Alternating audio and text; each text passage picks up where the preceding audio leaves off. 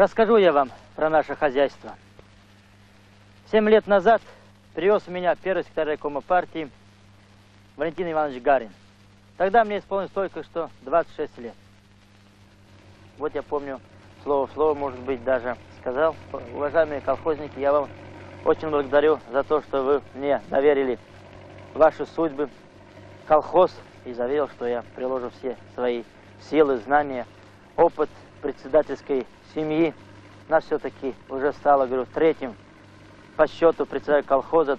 Два брата уже проработали общим счетом уже 15 лет. Опыт вот старших братьев позволял мне сразу включиться на полные обороты в работе.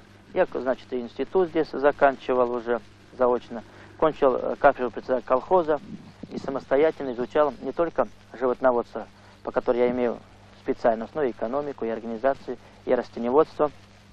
Я считаю, самые большие проблемы были для меня, люди не работали в колхозе. Было и процветало отходничество у мужиков, которые работали в северных областях. Уходили на заработки, потому что здесь не было где можно приложить руки. Мы начали со строительства. Если раньше в колхозе работало всего 7 мужчин в строительстве, то на данный момент уже работает 155 человек. И можно сказать, сейчас в отход четвертый год никто не ходит. Вторая задача. Уезжала молодежь. В основном, кто оставался в колхозе, это оставались ребята. Потому что ребята знают, после десятилетки они приходят в колхоз. Кто? Механизатор, шофер а девчатам куда прийти. Так, чтобы молодежь оставалась в колхозе. Не по 10 человек, а по 60, по 80 человек. Мы пришли к выводу, надо организовать подсобные цеха. По пошиву рукавиц, автопологов для таков, других нужд. Мы организовали комсомольское молодежное звено, которое подкрепили здесь и земли к ним. Они в свободное время, значит, занимаются вот именно пошивом этих рукавиц, а вот в уборочную компанию весеннюю полевую кампанию, они занимаются именно землей. Занимаются вместе с механизатором, чтобы вырастить хороший урожай. Мы пошли по резкому увеличению именно подсобных промыслов, потому что видим, что здесь получаем мы денежные доходы. Так вот, например, мы только за 1983 год получили чистой прибыли миллион двести тысяч рублей. Здесь, может быть, даже и непонятно, почему мы пошли по такому пути, что именно деньги стали брать не с земли, не с производственных животноводских помещений, а именно с подсобных промыслов. Надо сказать, что Владимирская область, в частности Гус-Хрустальный район, один из самых беднейших районов по земли. Земля, можно сказать, голые пески. Чтобы получить, надо сначала вложить в землю. Вложить. И вот подсобные промыслы нам позволяют заниматься землей, заниматься стадом, чтобы из года в год повышать продуктивность полей и животноводства. Мы начали строить жилье, хорошие квартиры со всеми удобствами. Есть приусадебный участок, где есть помещение для того, чтобы поддержать и домашнюю скотину, где можно развести кур, где можно посадить огород, сад и другие виды сельскохозяйственной продукции. Ведь недаром Карл Маркс говорил, что бытие определяет сознание. В настоящее время строительство села, особенно жилого фонда, без хорошего профессионального архитектора, может быть, даже и нет смысла строить. И, конечно, нам повезло, что у нас работает архитектор Хружикян Михаил Николаевич. Перед нами стояла задача вот именно сделать, как сделать создать архитектурный ансамбль.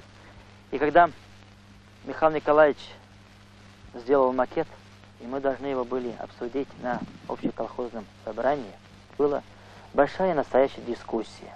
Неужели это на нашем колхозе будет? Неужели наши дети, значит, увидят это и дали, можно сказать, добро? Мы пришли к выводу, давайте раздавать и колбасный цех свой колхоза, и маслобойню, и хлебопекарню потому что хлеб нам завозится за большие километры. Зачем ездить в город за этим сливочным маслом? Когда можно, потому что очень много держит скота у нас в колхозе, у частного сектора. Или то же самое переработка на колбасные изделия. И я считаю, что этот вопрос своевременный потому что он является одним из путей по решению продовольственной программы.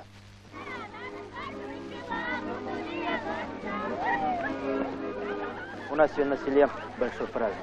Рождается новых пять молодых семей. Кто это семьи? Надежда Попковская и Костя Русаков. Надежда работает мелиоратором, после техникума пришла. Сейчас поступила в институт, повышает свои знания, чтобы лучше работать с землей. Костя Русаков пришел после армии, остался в колхозе, работает трактористом.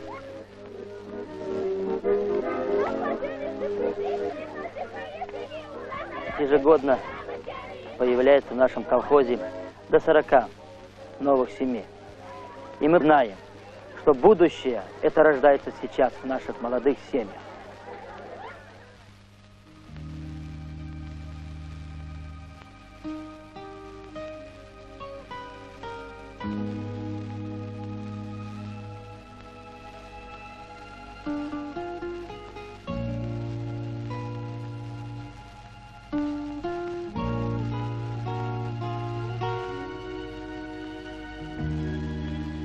Каждый результат работы всегда зависит от подбора кадров.